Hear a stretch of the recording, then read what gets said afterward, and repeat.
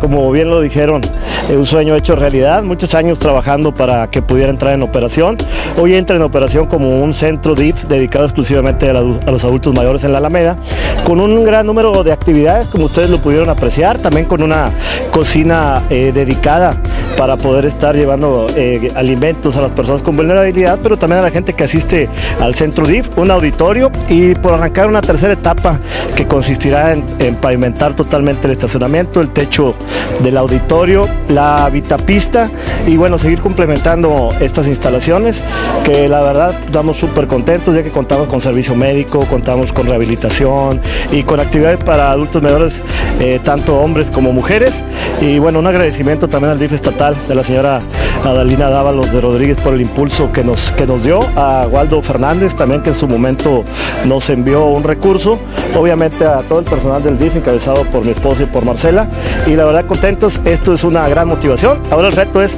operarlo y tener la inversión suficiente para que esto se conserve así de primer nivel.